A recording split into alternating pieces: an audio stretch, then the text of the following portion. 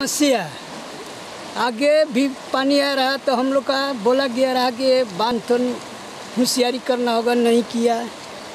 एक तो बनौरी मांगा गया रहा कि जैसे दास बस्ती होते, बीमारी होकर रोड मिलाने के लिए वो भी नहीं मिलाया। सरकार से अभी निवेदन है कि ये चीज़ होना चाहिए। और जितना खेती बाड़ी घर द्वार सब डूब गया है आप लोग का। कितना घर डूबा है यहाँ पे? ऐसा में एक सौ एक सौ दो सौ तीस घर डूबा है। 230 घर। लोग कहाँ हैं अभी यहाँ के जो लोग? कुछ खैरनी चला गया। खेती सब नुकसान जहाँ तहे कुटुम्बारी में खैरनी जगह में घुसा है काले से पानी घुस गया।